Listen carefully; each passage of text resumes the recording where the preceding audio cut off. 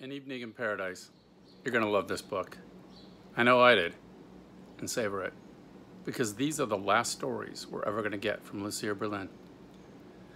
A few years ago, 11 years after her death, Lucia became an overnight sensation with A Manual for Cleaning Women.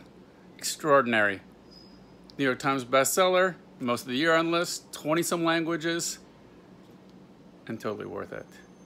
But she only published 77 stories in her lifetime, and about two thirds of them were in here. All the rest, also in paperback, whoops, are here. So read it.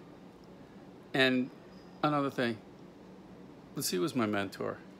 And I loved her dearly, but also learned so much from her. So if you read my work, look for Lucia in it. You'll find her there.